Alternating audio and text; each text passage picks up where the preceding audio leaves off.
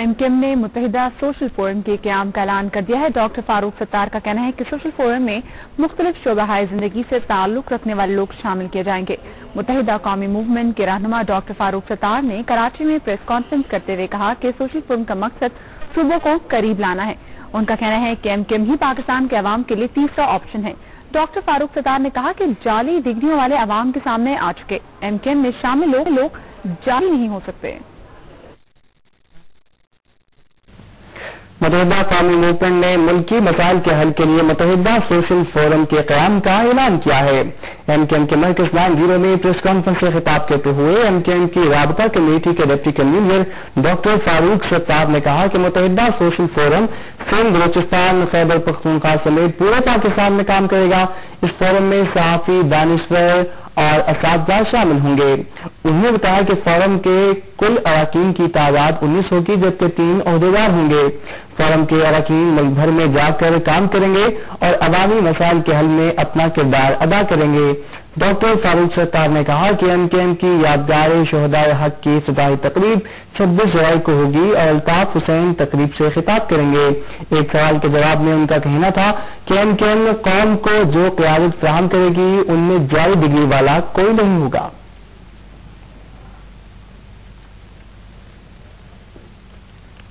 मुतहदा कौम मूवमेंट की रबता कमेटी की प्रेस कॉन्फ्रेंस जारी है।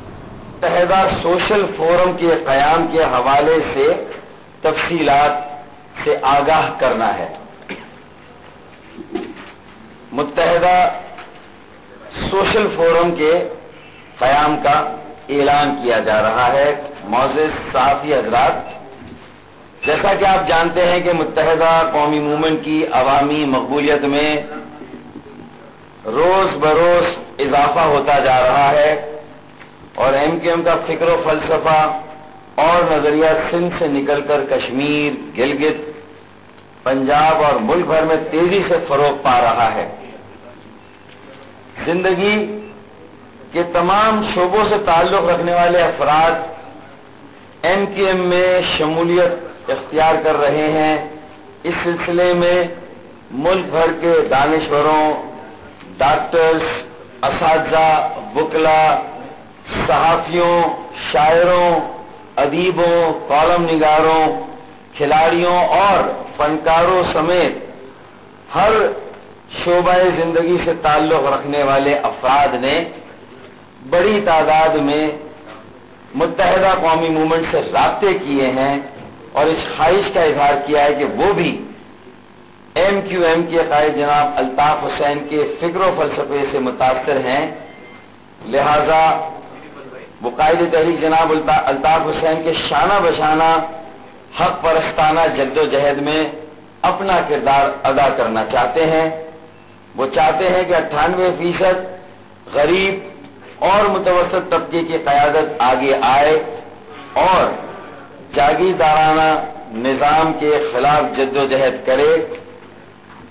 मौजूद साहब की हजरात, हम हमें ये ऐलान करते हुए बेहद खुशी महसूस हो रही है कि मुतहदा कौमी मूवमेंट ने इस जिम्न में मुतहदा सोशल फोरम के क्याम का फैसला किया है और इसके अरकान के नामों का ऐलान भी किया जा रहा है।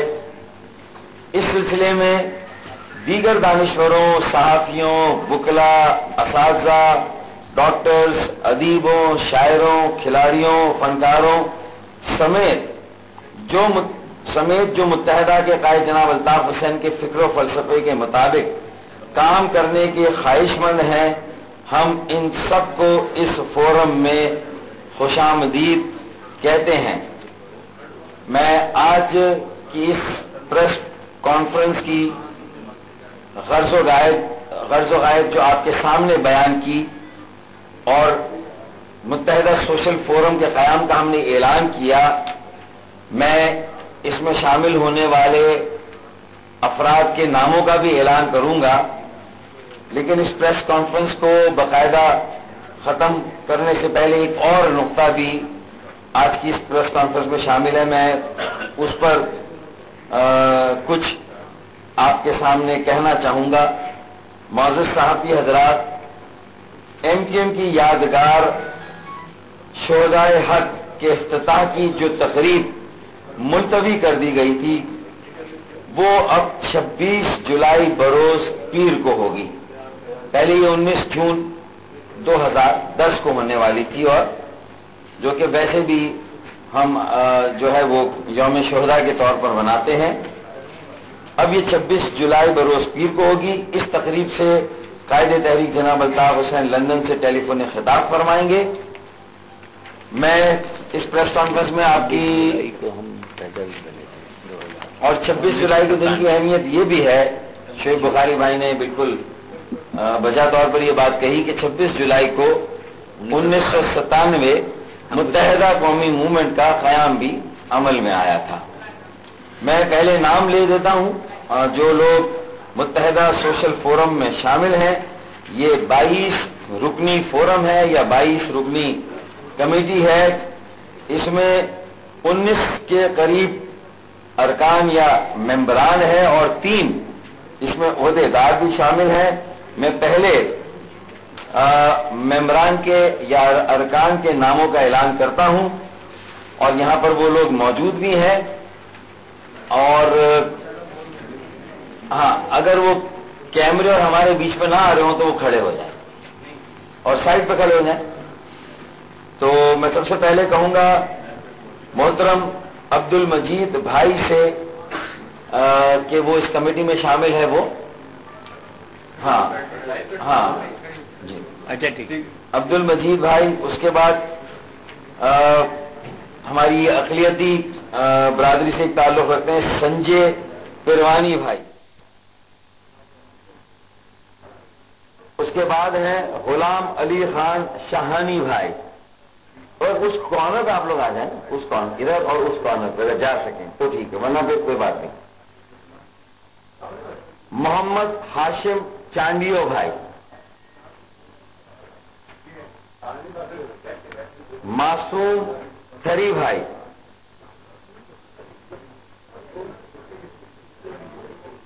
इर्शाद सुबह पोटो भाई।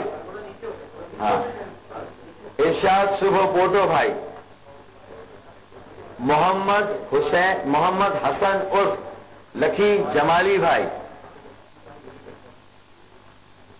अब्दुल हमीद शेख भाई।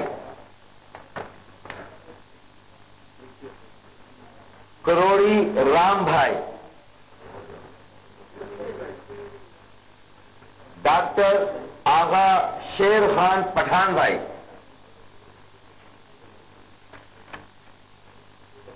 नजीर अहमद अब्बासी भाई। वसीम सुमरो भाई। रशीद जमाल भाई। देवदास भाई ये हमारे सबक एमएनए एमएनए भी थे। अकलियती बरादरी से इनका ताल्लुक है। उसके बाद मुनव्वर चौहान भाई। एक और अकलियती बरादरी से ताल्लुक रखने वाले रुकन डॉक्टर मुकेश भाई। इसके बाद हैं डॉक्टर नजीर अहमद पंवर भाई। अगला नाम है गुलाम रसूल सम्मो भाई।